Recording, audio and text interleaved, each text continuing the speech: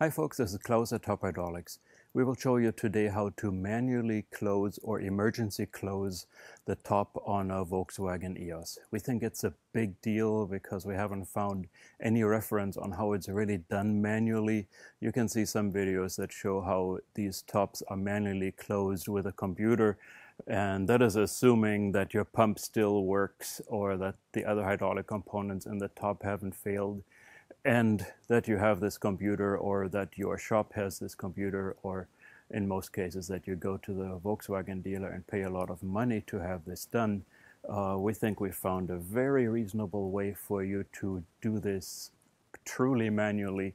You don't need many tools. Uh, actually, what we found you need is um, possibly a couple flat screwdrivers to get behind um, some panel pieces, and you need a, uh, roughly 10 inch or so um, small pry bar and a Torx T15 wrench that I don't have in my hand right now, a Torx T15 wrench to just undo a couple bolts in the trunk. And um, the big thing is we're showing you how to step by step remove trim pieces to get at the critical places here that allow you to unlock the front section of the trunk lid, then flip the trunk lid back, that allow you to um, later on secure the uh, top in its up position uh, by uh, pushing down the uh, uh, frame locking mechanism in the middle of the frame. And uh, altogether, I'll say it one more time, it's a big deal. We're really happy we're able to show this.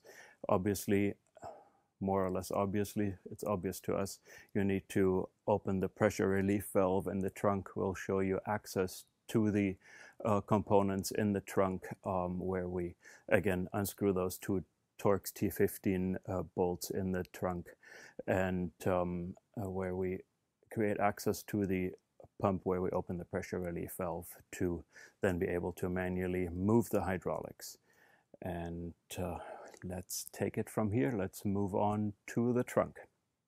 So here we are in the uh, trunk of the Volkswagen EOS. Uh, let me pull up the carpeted uh, panel that uh, is above the spare tire. And here you see the hydraulic pump. It is under this gray foam cover. Actually, uh, this car is missing a small bracket that is on top of here that is also easy to remove. So for access to the pump, all we have to do is pull this plastic panel up and then expose the pump inside of this uh, foam housing. To pull the access cover up, you actually, we have loosened it already. It only takes pulling up in all directions. Uh, keep in mind that the uh, this trim panel is normally tucked under the weather seal. So um, you it will pull out of the weather seal all by itself once you start pulling up on all ends. The um, one of the important things is disconnect the wire for the connector for the interior light here for the trunk illumination. That connector is easily uh, disconnected by pushing two tabs together and simply pulling it out of the light. So here I take out that rear trim panel and now we are almost at the pump. There is another plastic bracket on here that we can uh, pull up on. It's got two little release panel tabs in the rear. You pull those tabs forward. Now you can push down on this and get it out of the bottom uh, mounting bracket as well and uh, lastly we take off the foam cover. Now we finally see this hydraulic pump. So here's what we were after the manual pressure relief valve on the hydraulic pump. It uses a 6 millimeter allen wrench or a torx t40 will work as well. You want to unscrew this counterclockwise. I'll loosen it up first. Here's a half turn and i'll give it another half meaning one, one and a half. If you were to turn it farther, at about two turns, you'll see that it gets harder to loosen it. You don't want to go past that point or you'll damage the valve. So let's bring it back to about one and a half turns open. And we take it from here. So the trunk lid is open and we want to get access at the latch that is behind these trim panels. Now I have cheated a little bit. I have loosened these trim panels up already because I want to first show you the tabs inside these panels that kind of are the secret to uh, removing them. So let me quickly take these things out and then show you how it's done. Um, we remove this front trim panel and remove this middle trim panel to get access to this locking mechanism that I'll show you later um, how to um, unlock it. Now we have two trim pieces here. One is the larger one in the front. The important thing on it to show you is this tab, this hook-shaped tab that goes into a metal retainer in the front here and the easier way to get this the front of this panel unhooked is to push down on it so it gets out of this tab.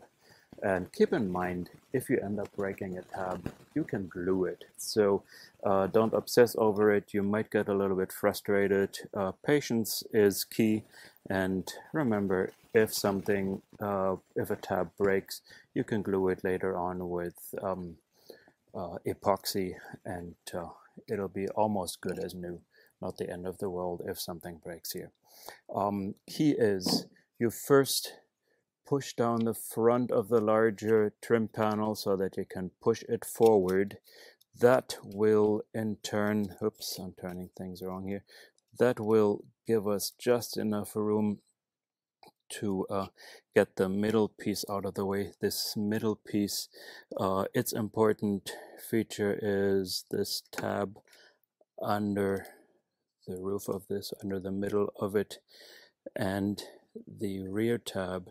The rear tab here locks it into a hole back in this channel, and that does need to be pried up before you can move this piece forward and out of its um, round uh, bolt-like retainer here. So when the rear gets pried up and pushed forward enough, then this piece comes free, but only after the front piece has been pushed forward enough to even be able to push this thing out of the way.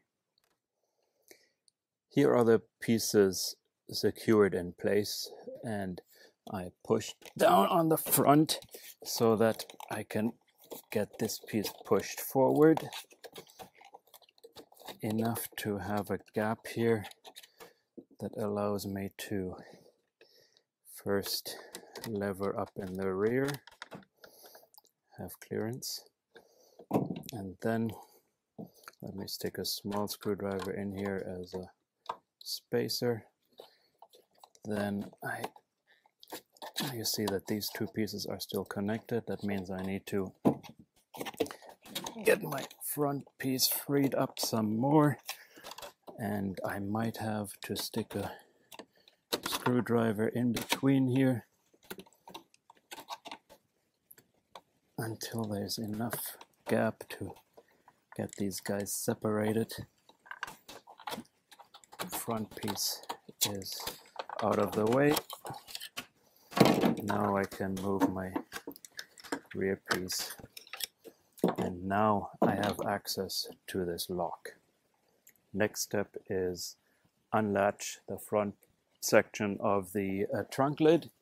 For that I use the uh, angled pry bar and it's not very hard to do this. You could theoretically use a large flat screwdriver. I'm not a big fan of that because that uh, thing might slip too easily. So I prefer the larger blade and the angle on this tool to simply do the following. I push the tool in this gap between the ball joint uh, collar and uh, the cylinder housing itself, meaning the edge of this tool pushes rather at the end of the cylinder shaft. Now I lean my body into it and push forward. Now what I want to say is you want to avoid tool slipping and stabbing things all over or uh, hurting yourself while uh, a tool slips. So easy does it. lean into it, push forward. Now at this point, I need to lean most of my body weight into it, but you can do it. Uh, just go easy. Try not to have tools slipping too much so you don't hurt yourself or the car. Um, it's easier than it looks. Same thing on the other side. And uh, after that, we move on to the next step. So the front section is unlocked. We next close the trunk lid, flip the um, trunk module or the trunk lid section backward. Then we lift the roof. After the roof has been lifted, we uh, show you how to undo some Torx bolts uh, to get um, the nylon tension cables loose and so that we can after that get access on the inside to lock the rear frame and I just wanted to tell you about uh, closing the roof. You want to make sure that your windows are down and uh, you need at least two people to lift this roof. The roof is pretty heavy. Um, two people two strong people can lift this roof with a lot of moaning. Three people is better. Four people is ideal. Now we're going to show you uh, how to do it with three people. Um, and um, you will see the roof moving fairly slowly. That is partially because there's hydraulic fluid moving through these tiny hoses. So everything is damp and it does not move super fast. But um, again, it takes some muscle to move this heavy top. The pump, amazingly, has only about a half horsepower but with that, it's everything is levered just right that uh, the, the hydraulic cylinders are mounted such, uh, the kinetics in this frame are such that this half horsepower pump has a fairly easy time moving the top up. By the way, it's an awesome pump. It has been very well designed, uh, but they do fail with time. Again, as I said, we fix these pumps. Now let's get back to the subject here. We move back uh, the trunk module. We simply lift up by the trunk lid, move it back. There we go. This way the trunk lid is up and the third person can get in here and push under the bottom while two people lift up on the side. We try to get our hands in under the top, middle kind of, and under the rear and start lifting. And keep moving slowly. You see that the top twists a little bit, so you want to be fairly even in the way you apply the force here. Once we're at the highest spot, we stop the top a little bit and we make sure that all cloth uh, clears the frame, that nothing gets tangled. We now let the top simply drop into place and uh, Next, we show you how to do un how to undo these Torx bolts for the tension cables. Next step is undoing the uh, nylon ca tension cables on an uh, inside uh, hinge cover. And uh, if we follow from the middle of the trunk to the side of these uh, main hinges look down here on the bottom here is a screw that we remove on either side. I'm showing you the left side. Obviously, we want to do the same thing on the right side too. And there goes my screwdriver. Actually, this is a uh, bit driver with a Torx T15 uh, bit on it. And just showing you where it goes will show you again from another perspective that makes it a little bit easier to see how these bolts are undone. Or let's just get it done now. No need for the other perspective. This is easy enough. That bolt is undone. We want to make sure we don't lose it. It is actually on top of a single, uh, what do you call this, oar, um, and that below it has a double oar, and uh, it'll make sense when you see it. In order to unlock the roof um, side member, um, after we have released the strings on the bottom, we also want to unclip this clip here that um, will then allow us to pull the cloth cover for the roof members aside and get access to the roof locking mechanism. Torx bolt has been undone to get tension out of these uh, nylon cables inside. I have also already unhooked this strap here that um, goes around the rear roof uh, member. And uh, we've shown you a different perspective of, unhooking this uh, strap. Again it uh, is undone simply by opening up that clasp in the rear. You have to kind of feel your way around the rear to unhook this clasp. And uh, now that this is loose we can secure it above the uh, rear headrest.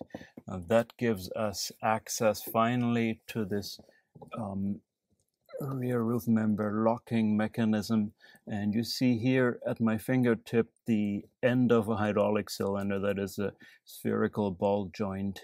And uh, that cylinder when it's fully extended will actually move this mechanism down we have to simulate this um, um, movement with our pry bar all we have to do is get this rod end down something like a three quarter inch.